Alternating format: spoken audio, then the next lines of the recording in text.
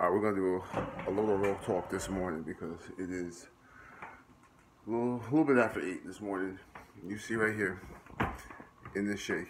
Now I got a lot of things in this shake that I normally won't eat, but here's the truth. Here's the, here's the real talk I want to get to.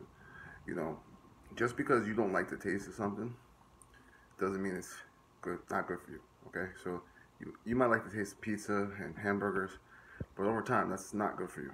You might not like the taste of kale and and, uh, this is juice. Hold on one second, because the juice has got all types of funky things in it. Real quick, this juice right here. You see this? It's got uh, all types of things I normally wouldn't eat. Uh, well, cherries I would eat, strawberries I'd eat, but like pomegranate, I'm not a fan of.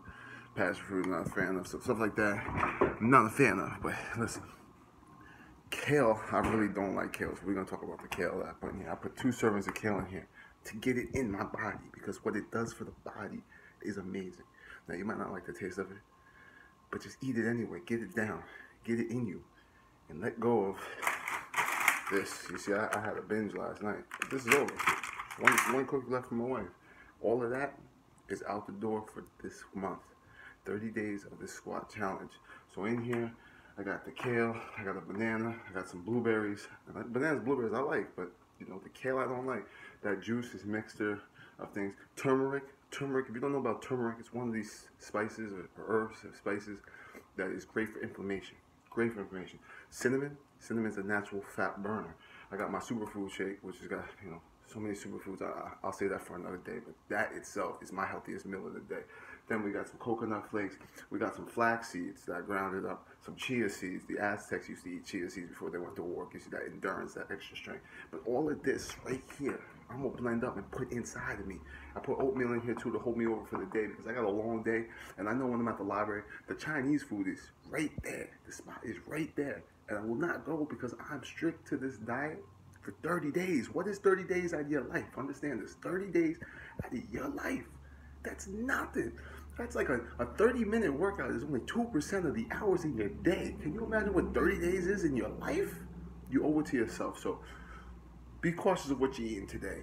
If you have chips, put the chips down and pick up a, a carrot. It's as crunchy. It might not taste as good, but think about your body as a temple. When it's inside your body, think about what it's doing for you and the effects it's gonna have while you're doing these squats during this challenge. So with that being said, let me lock this up. I'm gonna puree it because I don't want to taste it. The chocolate's gonna overcome it. I got some uh, local raw honey in here too. That's another big thing. Let me tell you guys, if you have allergies and you have, uh, let's see where I put it. Right here, right here. Nope, that's coconut oil. Oh. Uh, I think I brought it back downstairs. I also have this in here. This is all natural almond butter. But local raw honey, I want to talk about this real quick. Local raw honey is great for allergies because the bees are local to where you're at.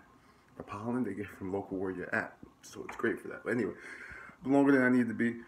This is my shake. This is my breakfast and my snack for the day. Probably gonna hold me over till lunch. Probably hold me over till about two o'clock because it's so fully loaded. My body will take the nutrients and the minerals from it and keep me going. Let me get the results I want and need and deserve, you know what I mean? With that being said, we're gonna get this in. Y'all have a blessed, great day, alright? Peace.